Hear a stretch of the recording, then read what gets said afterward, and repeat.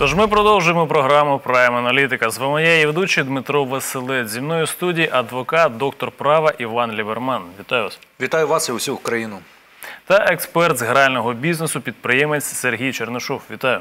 Здравствуйте. Также здравствуйте. Все, кто нас смотрит. Найближчим часом поговоримо про таке. Азарт в Україні під забороною у п'ятницю 20 грудня уряд постановою припинив роботу гральних закладів, які працюють під виглядом державних лотерей. Того ж дня правоохоронці закрили близько 5,5 тисяч подібних установ по всій Україні. Створено майже тисячу поліцейських мобільних груп, котрі полюють на порушників. Розпочато майже три сотні кримінальних проваджень. 19 грудня парламент провалив законопроект щодо легалізації та державного регулювання азартних ігор. Тож, наші телеглядачі, у нас сьогодні спецтема це гральний бізнес в Україні. Бути чи не бути, потрібно чи не потрібно, і юридично правильно це чи неправильно, законно чи незаконно. На цю тему, я думаю, пане Іване, до вас перше запитання. Всі ми знаємо, що при Тимошенко у 2009 році е, було зачинено весь гральний бізнес по Україні, принаймні офіційно. Тобто підприємці, які платили ліцензії, які платили кошти відкрито до держбюджету, вони фактично е, опинилися е, поза законом. І тоді ми розуміємо, що гральний бізнес нікуди не зник, адже просто помінялися вивіски, і під- вивісками лотерея фактично були і казино, і гральні автомати та багато чого іншого. То з юридичної точки зору, що трапилося тоді, у 2009 році, це е, якась хибна політика уряду, та яка порушує закон, чи вони діяли е, правильно. Давати оцінку, звичайно, можна. Е, Якщо говорити з букви закону, то зрозуміло, що змінюється законодавство, змінюються і вимоги до нього, і змінюються правила життя в рамках цього законодавства. Було це правильно чи неправильно, вірно, невірно, послідовно чи непослідовно, грубо чи толерантно. Е, Соціум дасть відповідь на це запитання. Ваш канал славиться тим, що об'єктивно, завжди правдиво і чесно каже, як є. Тож е, в рамках даного каналу, який славиться правдою, скажу, як є. Я вважаю, що абсолютно дещо непослідовно було прийнято тоді це рішення. І таким чином багато хто постраждав. Е, Більше того, змінилося що? Е, Вивіска, змінилися правила, е, змінилися власники, змінилися тіньові власники, скоріше за все. І таким чином ми маємо сьогодні те, що маємо. Люди грали, продовжують грати.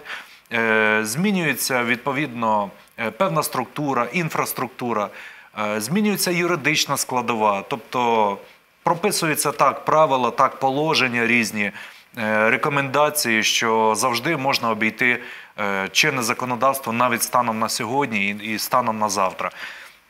Чи потрібен гральний бізнес в Україні? Я вважаю, потрібен офіційний, але правильно вибудований. Я думаю, е, наш колега, експерт, мегаексперт, я вважаю, дасть таку більш фахову оцінку з юридичної точки зору.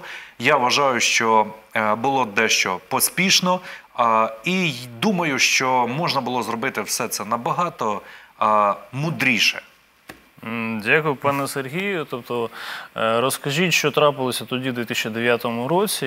Ми знаємо, що у вас був гральний бізнес, і він, е, можливо, ще досі працював, е, але я так розумію, працювати в тіні ви відмовилися. Тобто, розкажіть про цю ситуацію, яким чином це, ця заборона на гральний бізнес, в принципі, як вона вплинула на весь гральний бізнес в Україні?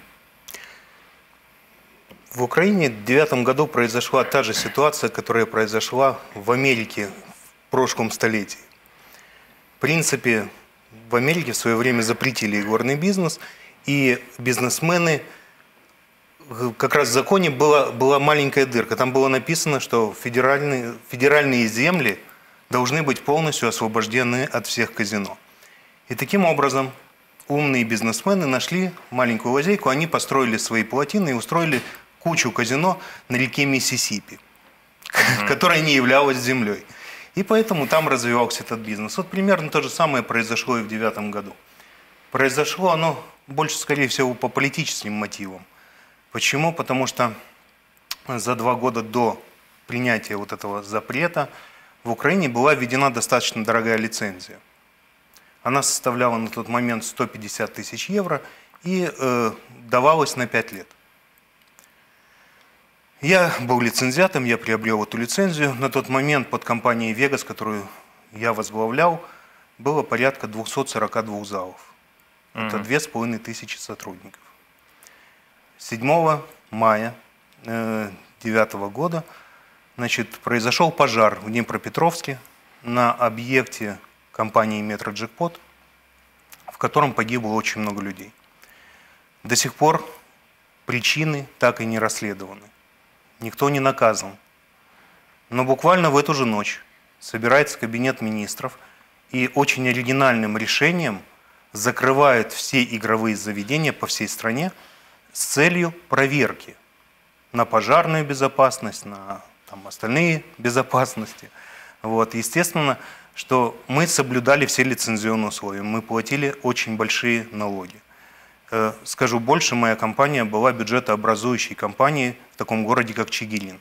95% бюджета этого региона составлял доход от моей компании. На нее строились дороги, школы. Э, До того, как мы вошли туда, регион считался дотационным, и государство выделяло 2 миллиона гривен. В бюджет выделяет из Минфина. Мгм. Вот. И получается, что произошла очень оригинальная ситуация. Это примерно так, что пришли к человеку домой и сказали, слушай, отдай ключи от своей машины. Говорит, почему? Потому что пьяный водитель где-то в другом городе сбил девочку на остановке. Вот примерно что произошло в момент. Это произошло в один день. Бизнес был тут же закрыт. Э, Мне позвонили представители правоохранительных органов, сказали, что мы вынуждены закрыть твои объекты. Я говорю, у меня же все лицензионно, у меня как бы есть на каждом аппарате патент. Я плачу все налоги. Они говорят, у нас есть четкое распоряжение сверху, мы не имеем права ее открывать. Мы, естественно, начали бороться, даже собрались, там митинги устраивали, обратились к президенту. Президент накладывает... А, значит, получается, что 15 мая, это, представьте, 7 мая происходит э, пожар, 15 мая Верховный, Верховная Рада собирается и принимает закон о запрете ігорного бізнесу. А що з ним трапилось далі? Тобто е, гральний бізнес заборонили, а е, Да. після все ж таки вам запропонували відкрити, але під іншою вивіскою бізнес чи як? Нет, на тот момент э, нам никто ничего не пропоновал. Э, Единственное, что как бы свистело в воздухе, президент услышал нас, мы вышли на демонстрации, он наложил вето. 15 числа, 15 июня, вето, или 10 или 15, не буду врать, э, вето было преодолено большинством голосов в Верховной Раде. Э, С этого момента оставалось полгода до новых президентских выборов. Естественно, что человек, который больше всего рвался к власти на тот момент, использовал эту ситуацию как политический бонус, и, в принципе, падающий рейтинг на тот момент премьер-министра, э, была надежда, что этот рейтинг хоть немножко поднимется, поднимется и премьер-министр вдруг превратится в президента. М, Дякую. Я Ми зараз повернемося до цієї теми. У нас є телефонний дзвінок у студію від нашого телеглядача. Вітаємо вас. Ви в ефірі. Доброго вечора. Доброго вечора. Да, Харків, Полтава, Юрко Дзин, автосвітні реформи в головах України. У мене питання таке. У мене там є рулетка і покером ми займаємося на особистому. Це не основне. Скажіть мені саме головне, чи можна прийняти до грального бізнесу випускників вищих навчальних закладів, наші університети, які переважно після закінчення університету торгують мороженою рибою на базарі. Ви зрозуміли питання чи ні? Ближче до теми сформулюйте, ближче до теми сформулюйте, будь ласка, своє питання. Е, Сформулюйте, будь ласка, чітко своє питання. Чи можна наші університети прирівняти до грального бізнесу з огляду на те, що вони не- не надають роботи після закінчення вищої освіти, а гроші забирають з людей? Дякую. тисяч на 5 років. Зро- Зрозуміло, п- пане Іване. Отже, я тебе таке риторичне запитання. Дійсно, у нас університети готують дуже багато спеціалістів, які потім не можуть знайти роботу. Тобто, у нас ланка ця, яка раніше у радянському союзі вона працювала, коли людина отримує освіту, і вона вже отримує умовно місце на заводі там чи десь на якої. На якомусь е, на якійсь фабриці. Нас цього зараз немає, тобто робочі місця у нас дуже скорочуються, особливо високотехнологічні е, робочі місця з хорошою доданою вартістю. І доцільне питання, я вважаю, нашого телеглядача: чи можна прирівняти все ж таки наші університети до грального бізнесу чи от рулетки? Дуже мудро сказав цей чоловік з Харкова, тому що насправді люди досить тонко відчувають нинішню кон'юнктуру, яка склалася. І, на жаль, часто відчувають себе цими фішками, якими грають. Грають ті, хто влаштовує із країни, на жаль, я говорю зараз про тіньових політиків, влаштовують з країни е, гральний бізнес. І тому е, людина, яка, ну, судя по голосу, досить серйозний чоловік, е, з Харкова да, ввечері е, справді м- моніторить е, ваш канал і е, йому це актуально. Я думаю, що він має повну рацію. Абсолютно правильно людина щита- вважає, і я повністю підтримую цього чоловіка. М, Дякую, пане Сергію. Як ви можете прокоментувати цю репліку? Ну, я, я полностью его поддерживаю. Почему? Потому что я, в принципе, поступил точно так же. Я ощутил себя в этот момент некой фишкой, которую просто разыграли и выпнули. Понимаете, я почувствовал себя человеком ненужным этой стране. Хотя до этого я считал себя позитивным. Почему? Потому что вот когда вы являетесь, э, скажем, руководителем компании, которая является бюджетообразующей, вы понимаете, что за ваши деньги дети входят в школу. Мы э, наводили и делали ремонты в школах, отремонтировали ТЭЦ, отремонтировали дороги. Это не просто там какая-то гордость, это ты понимаешь, что ты принимаешь активное участие в родной стране. Это, это гордость внутри, понимаете? И когда тебе говорят, что у вас там одно жилье, варье, криминал, я сам офицер запаса. Э, В моей компании работали 85% офицеров запаса. Это люди, которые привыкли выполнять приказ, они никогда не сидели ни в каких тюрьмах. Понимаете? И это настолько оскорбило, что я, не дожидаясь никаких политических выборов, ничего, я сел в самолет и в сентябре месяце уже улетел в совершенно в другую страну и открыл там этот бизнес, закрыв полностью все, что было здесь. Ну, естественно, оно было уже закрыто на тот момент. М, Дякую. У нас є ще один телефонний дзвінок у студію. Вітаємо вас. Ви в ефірі. Доброго дня. Доброго. Е, Скажіть, будь ласка, ну е, мене м, я возмущаюся завжди, коли е, за ігорний бізнес говорять. Навіщо називати це бізнесом, коли це просто-напросто заводиться? Яку отрасль економіки воно піднімає? Чи піднімає воно взагалі економіку? Ну, люди присідають, е, грають в ігрові автомати діти, програють гроші, е, стрибають з вікон. Для чого? Це, це не економіка. Від цього хліба в, в державі не додається. І грошей теж. Ви моє строїли дороги, але для, для тих доріг це були не, не гроші е, вироблені, це були гроші витягнуті з карманів. І ну, витягнули багато, щось ще, ще ділилися. Це не, це не є е, бізнес, який підніме економіку. Зрозуміло. Е, Я думаю, пане Іване, ви тут вибачаюсь. е, Дам відповісти пану Сергію з цього приводу. Е, Пане Сергію, в принципі, досіль ну, в суспільстві є думка щодо небезпеки, в принципі, грального бізнесу. Є там, наприклад, лудоманія, є там залежність гральна. Тобто це все реальні складні речі. От поясніть, чим відрізняється гральний бізнес від оцієї м, ну, такої бізнесу, який фактично стимулює хворобу у суспільстві. Тобто, е, де ця грань, і от як ви можете відповісти на питання нашого телеглядача щодо грального бізнесу? Ну, начнем с того, что, скорее всего, Бог заложил в людей вот эту часть, такую как азарт. Да, не во всех. Есть просто часть людей, которая болеет азартом. Кто-то болеет, допустим, какими-то экстремальными видами спорта. кто-то там, не знаю, подводными какими-то интересными вещами, а кто-то болеет вот этим азартом. Еще в, скажем, древние времена там на- наскальные рисунки были обнаружены первые игровые кости. Можете себе представить, сколько лет вот, вот такой вот вещи. К тому же э, игорный бизнес, он просто э, объединяет такие вот, э, скажем, понятия, как казино, там, многие люди не задумываются просто о том, что многие вещи в нашей жизни это и есть игорный бизнес. Возьмите биржу. Люди делают ставки, они покупают что-то, не, не зная, поднимется ли фондовый рынок, либо он упадет. Они делают ставки и выигрывают или проигрывают. Правильно? Это тот же игорный бизнес в основе своей. Финансовая система, тот же игорный бизнес. Ну, Форекс, так, ну, коливання. Сто процентов, конечно. Это, это тот же самый игорный бизнес. Э, Единственное, что есть грань социального игорного бизнеса и несоциального. Когда А аппараты тут стоят... детально Да, поясніть, де когда аппараты грань? стоят на улице и, и идущий ребенок в школу может вытащить из кармана деньги, которые родители дали ему на бутерброд, да, это, это не социально. Когда на каждом базаре, извините, э, возле того, где продают пирожки, становится какой-то непонятный объект с надписью, там внутри находятся игровые автоматы, это ненормально.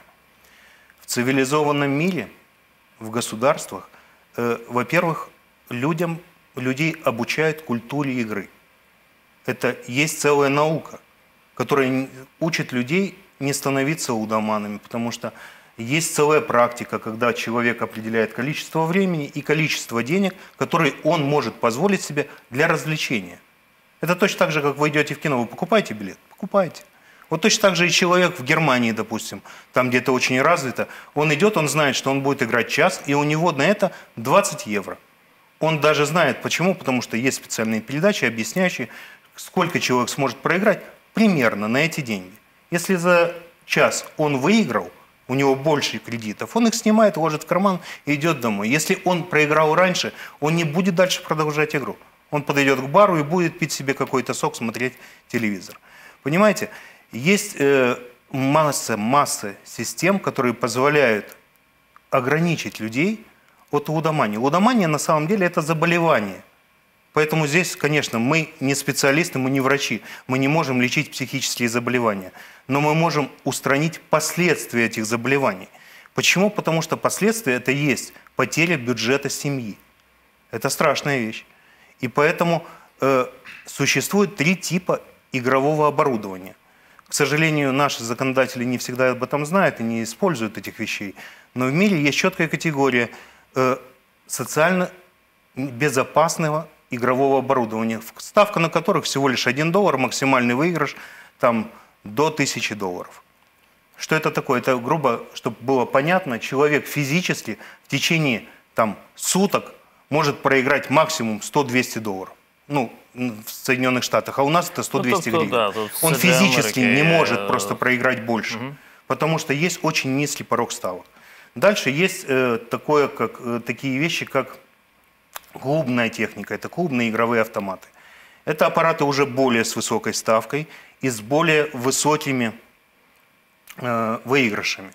Естественно, что почему здесь я говорю еще о выигрышах? Потому что человек подсознательно играет до тех пор, пока есть разница между его проигранными деньгами и выигрышем максимальным. Он всегда надеется, что этот выигрыш упадет ему, и он сможет забрать, вернуть эти деньги. Когда выигрыш маленький, он, не, он физически, он как бы морально не дает ему проигрывать большие деньги. Для этого придуманы системы джекпота. Для того, чтобы вот эта капля, которая висит, э, мотивировала человека проигрывать больше денег. Ну, тобто, якщо я вас правильно розумію, в принципі, якщо б в нас е, держава підійшла більш е, креативно до питання горного бізнесу, до грального бізнесу, тобто в першу чергу треба було забрати всі гральні автомати з місць постійного перебування та пересування людей. Правильно я розумію? Нужен Щоб був їх закон. там не було. По-друге, треба було ставки на ці гральні автомати зробити дуже маленькими для того, щоб ці гральні автомати на них просто неможливо було фізично програти велику суму грошей. Правильно я розумію? Да. А вже потім йти далі там, до казино, там, до готелів, так і якихось інших гральних автоматів. Вы понимаете, до девятого года мы сами бились, чтобы был принят закон, хоть какие-то правила на этом рынке. Потому что правил не было. Сегодня мы говорим, что у нас был беспредел. Беспредел был вызван на самом деле в седьмом году. Почему в седьмом году? Потому что господин Путин своим указом запрещает в России игорный бизнес. Он говорит, ребята, у вас есть лицензии, доработайте их до конца, у вас два года.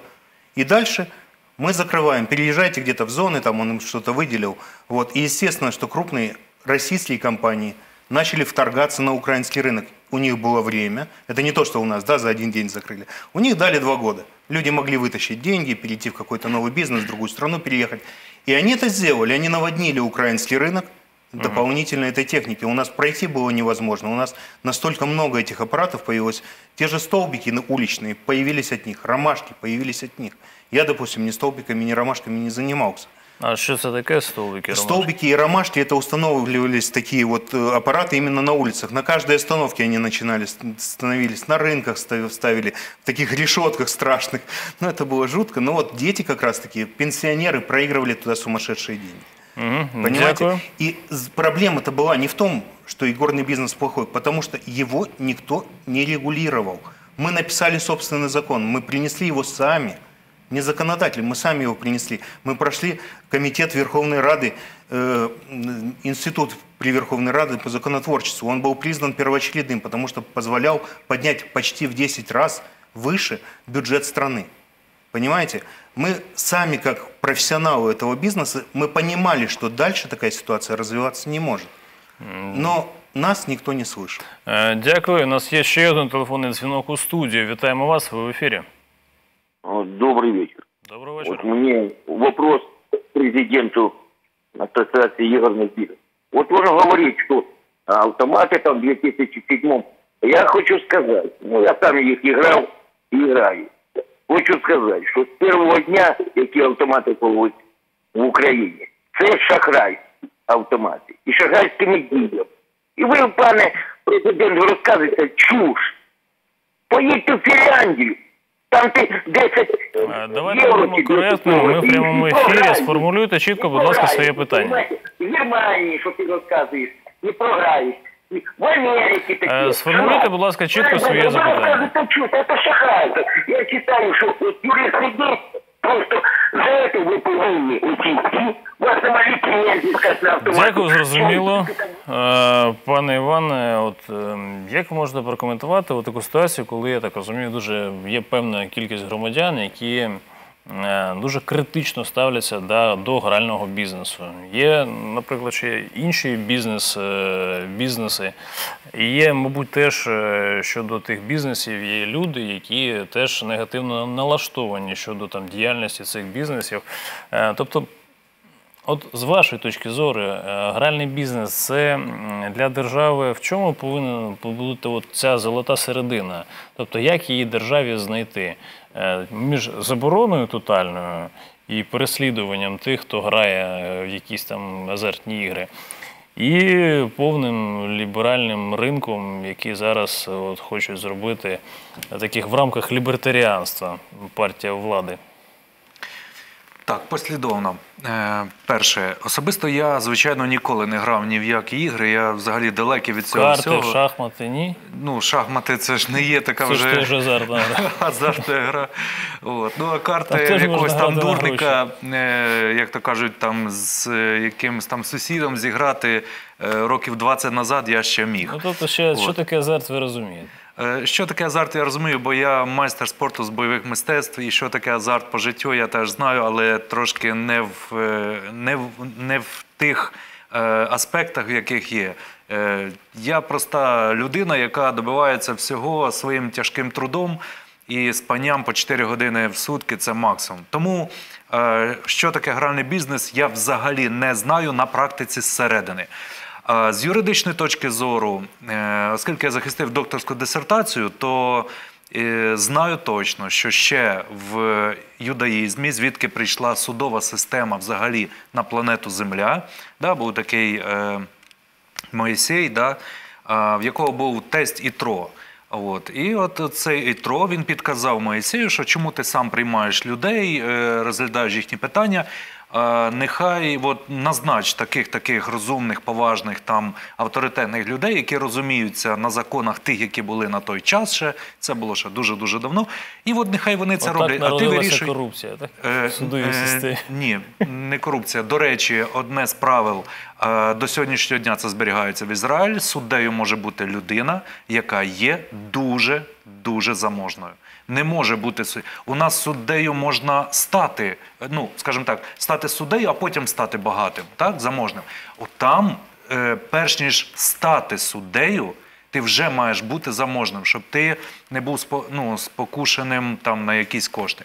Ну то таке. Я про інше, про гральний бізнес. Мені, наприклад, сподобались. Е, Фрази е, цих двох дозвонювачів, які е, дзвонили. Е, перша людина, от перший чоловік, який дзвонив, от, мені сподобалось те, що він, знаєте, якось так чітко формулює свої думки. Тобто видно, що людина от, послідовно мислить, послідовно хоче, щоб і до нього підходили. Адже, як правило, конкретна людина є відзеркаленням того, що є навколо цієї людини. Тобто він е, логічно правильно будував е, свої запитання. Він, в принципі, послідовно розказував, що, як і до чого, і запитував він теж послідовно. Е, В другий чоловік дозвонювач, це ж представники усієї країни телефонують до вас. Він Видно, що він е, чимось збурений. Йому ну його ну звичайно його щось не задовольняє саме в частині грального бізнесу. Тому е, лунає якась там критика і так далі в адресу нашого гостя, колеги. От е, я думаю, що це все е, ну в якійсь мірі є суб'єктивним. Однак, згідно законодавства. Якщо адвокат, наприклад, я станом на сьогоднішній день в судових е, інстанціях, в судових процесах, коли в- я допитую якогось свідка по кримінальному провадженню чи по цивільному провадженню, і в мене є дані, відповідь на адвокатські запити, що ця людина є азартною, або вона має якісь інші е, компрометуючі дані на нього у мене є. Я в суді це озвучую, і суд приймає до уваги. Наприклад, якщо у мене є відповідь з національної поліції про те, що громадянин такий-то або громадянка така-то, яку, якого ми сьогодні допитуємо як свідка, ця людина за, е, за е, е, комен, як правильно сказати, а, на неї є компромат, що вона є азартною людиною. Притягувалась там, наприклад, до адміністративної або до кримінальної відповідальності за е, те, що була активним учасником грального бізнесу в період її заборони, мається на увазі. І таким чином суд, згідно законодавства, е, іноді кажуть суддя, насправді правильно казати суд. Суд, згідно законодавства, має критично відноситись до показань азартної людини, азартного свідка. От чому е, в мене до слова азарт і до слова гральний, там в тому числі гральний бізнес, є певна е, така ну, обережність, але вона юридична.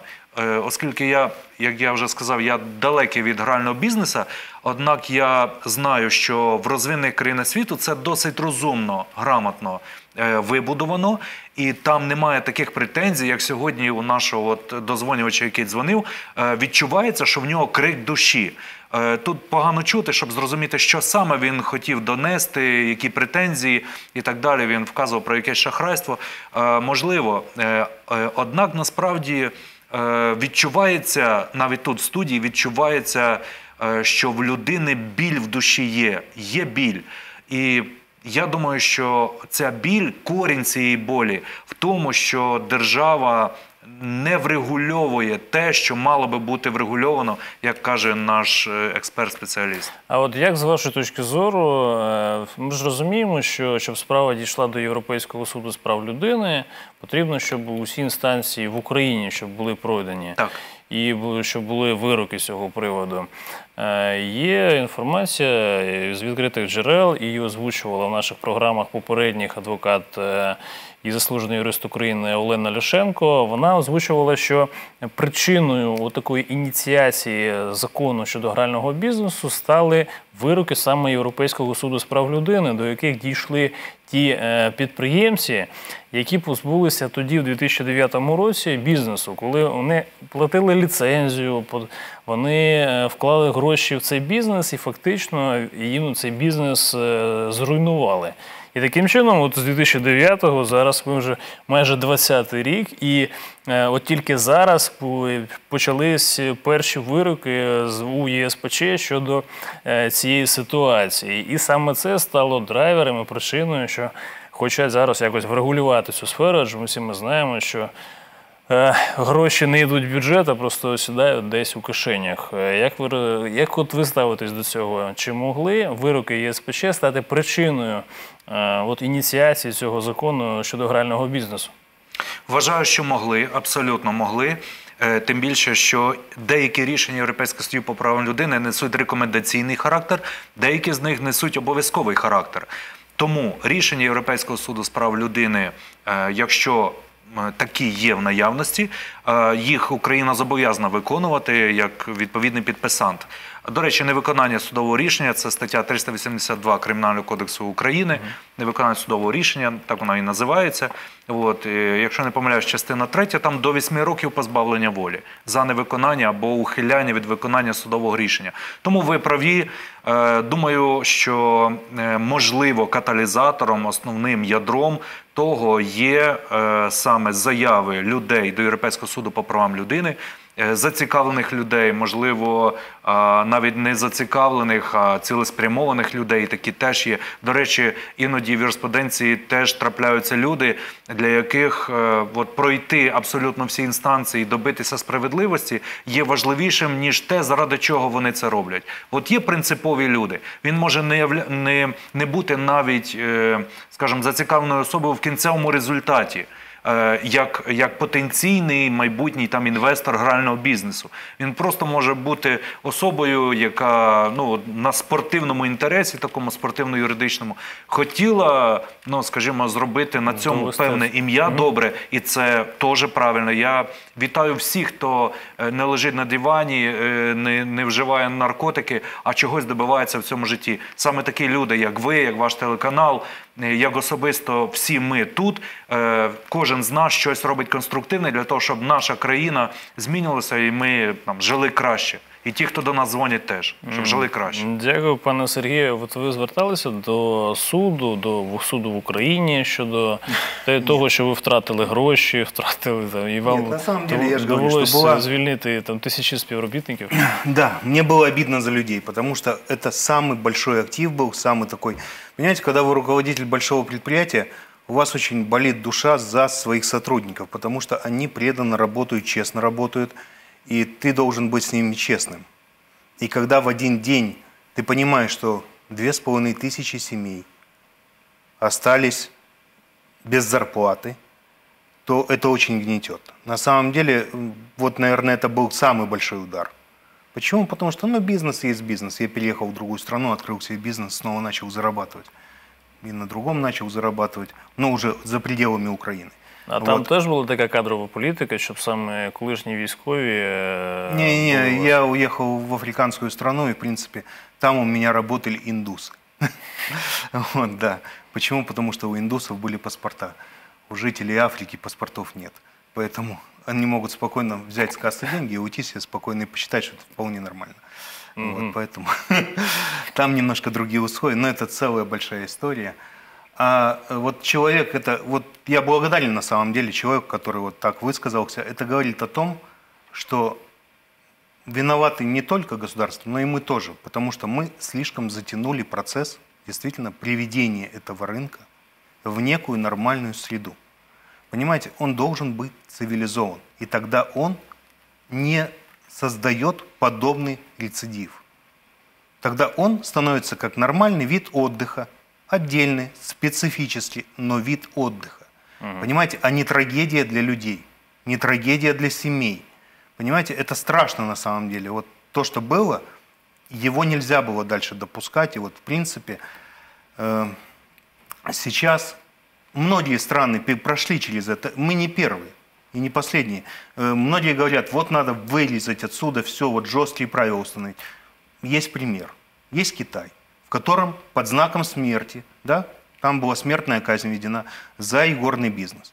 30 миллиардов годовой оборот черного бизнеса. Можете себе представить, когда человека берут и расстреливают за это все. 30 миллиардов. В свое время Папа Римский в Италии запрещает игорный бизнес на 6 лет. ровно через год на границах с Италией начинают строить заведения игровые. В год 8 миллиардов евро Италия начинает терять. Они почти посидели, посидели 6 лет и сказали, это ну тебя в баню, Папа Римский. Ты там уже у себя посиди, а мы откроем как-то, ну, легализуем. Они сделали тоже определенные условия, ввели этот бизнес, и он работает. Да, в- детей никто никуда не пускает. Да и в принципе, вот многие сейчас политически просто кричат, дети, дети, дети. Я вам скажу честно и откровенно, в моих объектах даже до того момента, когда там был запрет на 18 лет, мы их все равно не впускали, этих детей. От них, во-первых, никакого толку. Во-вторых, это сумасшедший геморрой с их родителями. Потому что если ребенок, не дай бог, где-то на объекте проигрался, это, это целая тоска. Приходит куча людей, там начинают э, кричать, там начинаются какие-то выяснения отношений. И они денег не приносят. Что ребенок может принести 50 копеек? Оно не стоит того. На самом деле э, кассу игровых заведений делает всего лишь несколько человек. В основном это были, ну, до девятого года, это были специалисты налогообложения, которые работали в структурах государственной власти, те же милиционеры, понимаете. Это были люди, которые менялы, которые стояли тут же возле рынков и обменивали валюту. Понимаете? Вот кто делал кассу. Других э, не пускали этих детей. И вы знаете, вот доходило даже вот эти вот ограничения доходили просто до маразма. Вот я знаю, в Литве у меня просто знакомый, э, тоже владелец крупной компании в Литве. У них был случай, они тоже детей никогда не пускали. Прибегает отец с ребенком, которого рвет, и просит их впустить его с ребенком в раковину. А раковина находится, естественно, на территории зала. Он заносит этого ребенка, понимаете, моет его там, и в этот момент заходит инспекция, и у него отбирают лицензию, которая стоит сумасшедших денег, понимаете? И, ну и что, этот ребенок, его даже не играть занесли туда, его помыть занесли на самом деле. И он с камерами, там, в камеры засняли процесс, что действительно отец его занес в эту раковину, помыл. Понимаете, это как метод конкурентной борьбы использовался на самом деле. Поэтому э, вот делать акцент на том, что там нельзя запускать детей, да мы их и так не запускали.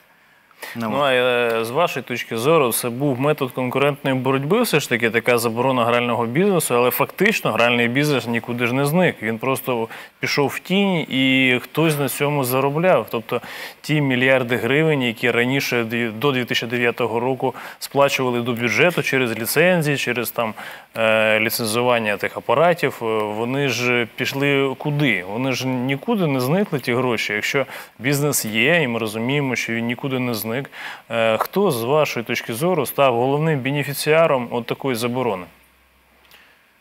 Вы понимаете, э, я не могу точно говорить об этом, потому что я ну, не, не сотрудник правоохранительных органов.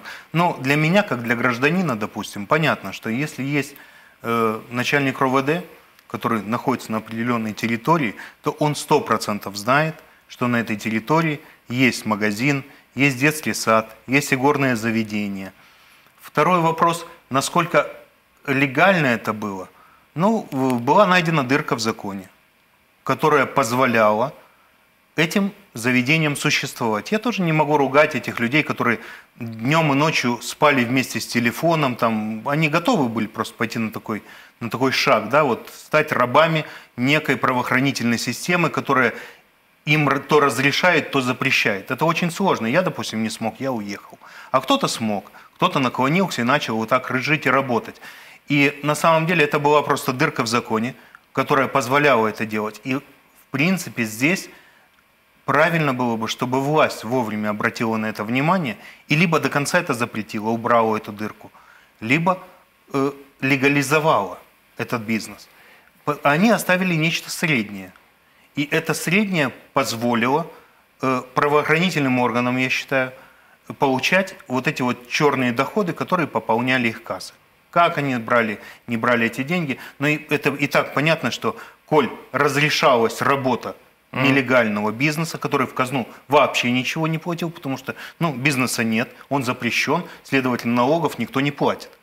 Поэтому вместо налогов появились люди, которые крышевали этот бизнес и, естественно, за него получали. И я считаю, что, ну, по крайней мере, здесь как минимум были задействованы э, действительно люди в погонах. Угу, дякую.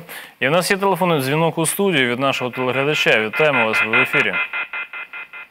Так, е, не дочекався наш телеглядач, і ми йдемо далі. Закривати чи легалізувати гральний бізнес? Ми запитали в українців. Відповіді в рубриці одним кадром від Артура Журбенка. Вітаю вас, шановні глядачі! І зараз знову у нас буде рубрика Соціологія одним кадром. Ми поцікавились у пересічних громадян, що варто в першу чергу зробити: легалізувати цей бізнес чи все ж таки повністю закрити. Гарного перегляду! Нет, их нужно закрыть. А он уже давно в электронном виде. Зачем его открывать или закрывать? Сейчас открываешь телефон и там 28 реклам.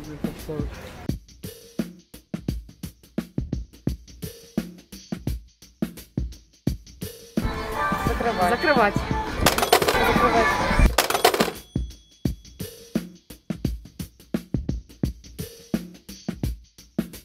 Легалізувати. Це канал ІКР теж? Так. Мене показує по телевізору. Так. Я думаю, і подальше їх треба винести, з... і, щоб не було мен... щоб воно менш доступно було. Менш доступно, а взагалі е, для Це закону должно бути в міру, я думаю. тобто в законній плоскості в міру, е, щоб законом регулювалося і краще легалізувати. Я правильно вас розумію? Да.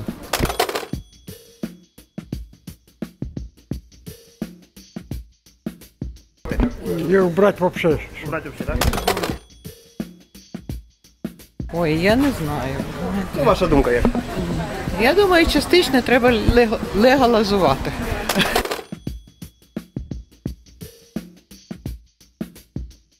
Я правильно понимаю, лучше закрыть тогда? Так.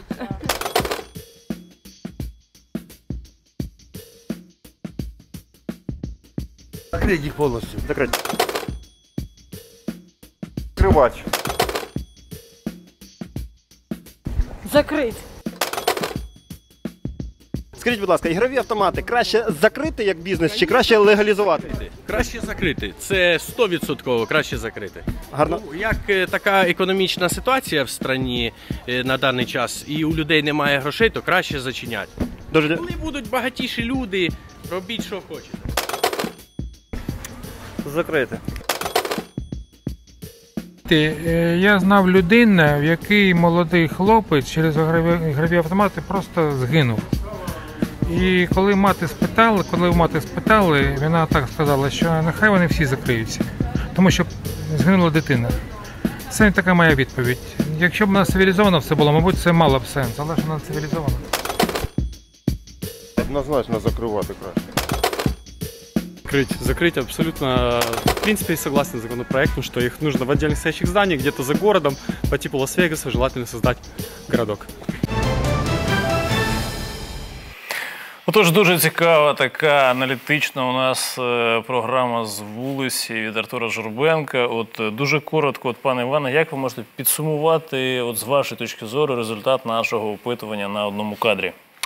Е, Скажу як людина, виключу формат, що я там адвокат, різні там статуси, вони нікому не потрібні.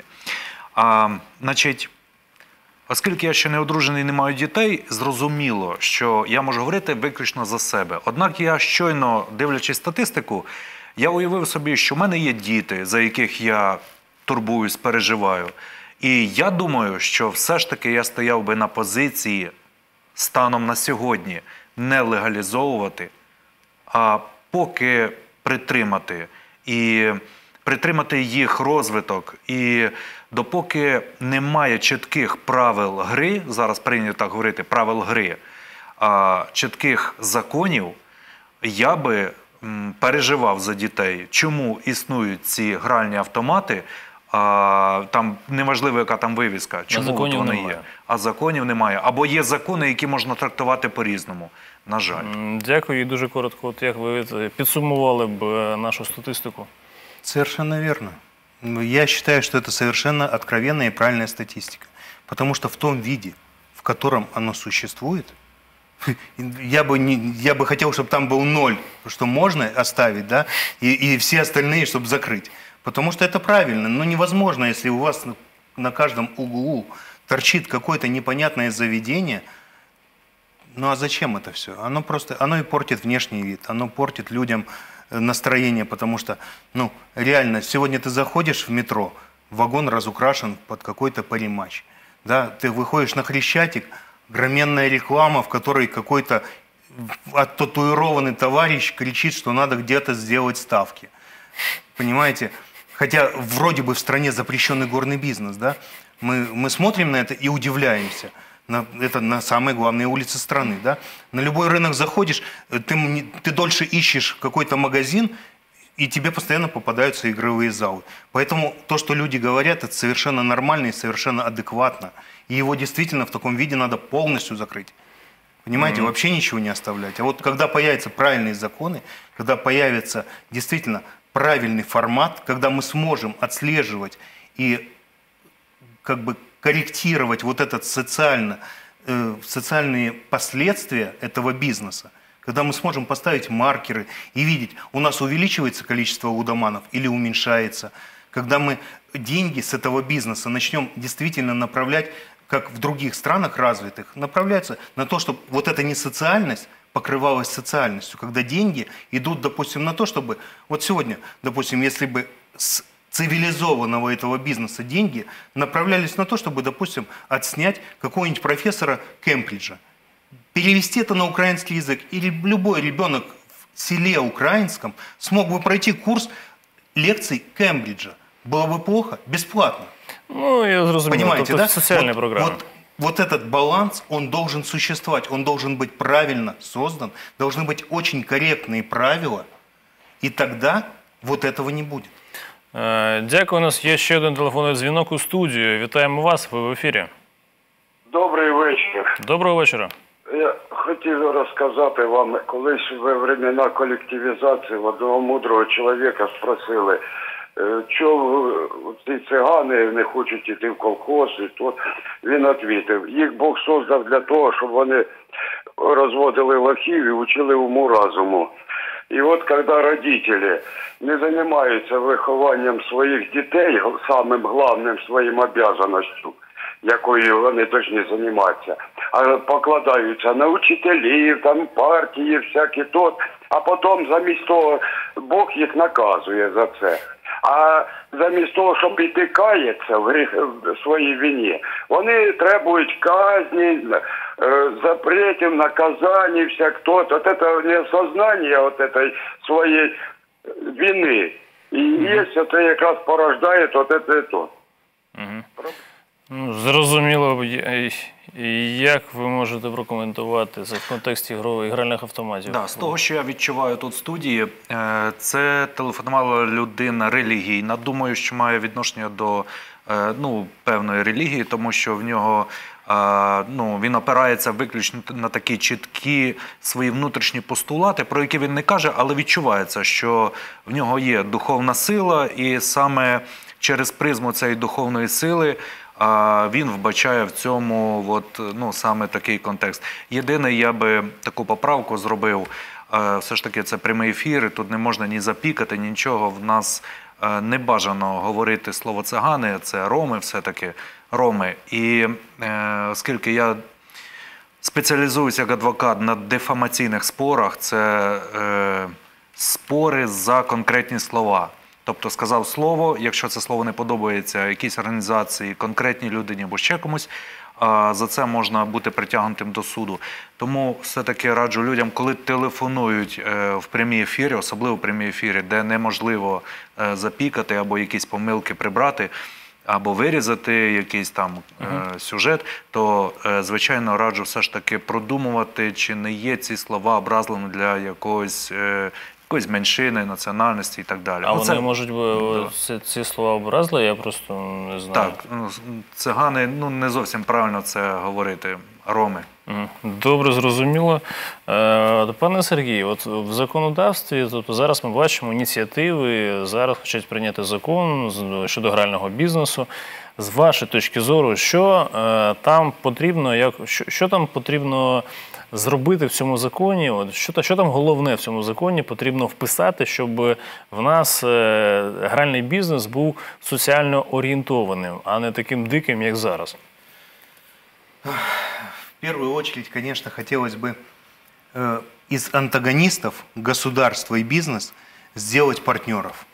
Понимаете, для меня, э, как человека, который уже поработал за границей и вернулся обратно, очень больно наблюдать, когда государство выступает вроде некого ракетера, который назначает сумму, и ему не интересно, как работает бизнес. Да? Почему? Потому что э, ведь мы понимаем, что социально защищенный, скажем, социальный аппарат, он не даст больших доходов, потому что эти доходы откуда берутся? У людей из карманов.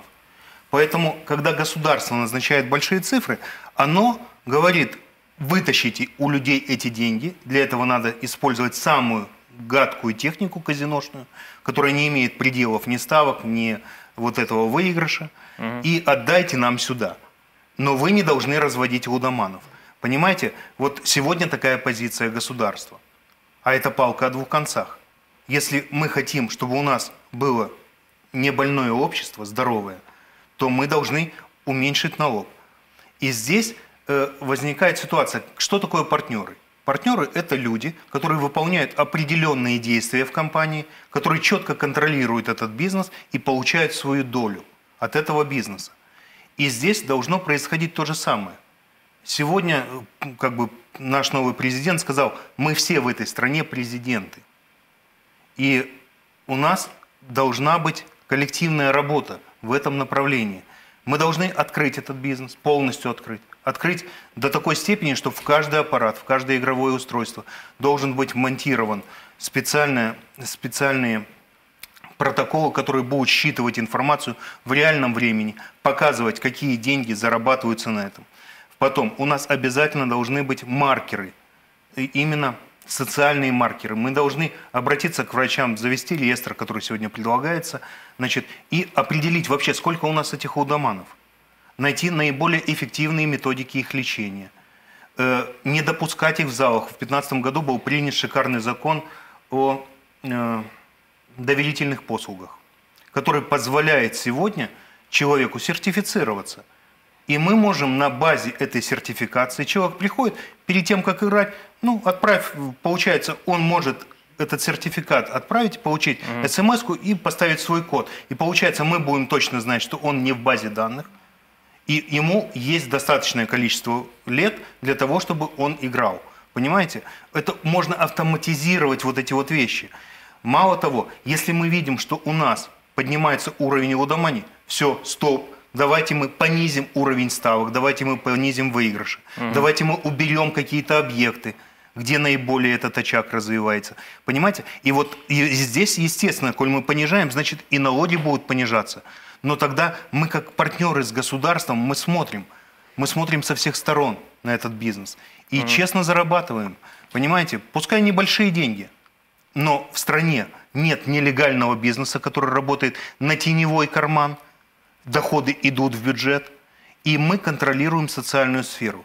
И вот когда, наконец-то, чиновники и бизнес перестанут друг от друга бегать, да, вот эти кошки-мышки, когда мы сядем за стол переговоров, и люди поймут, что надо все открыть и просто сказать, сколько вы хотите от этого бизнеса, вот столько.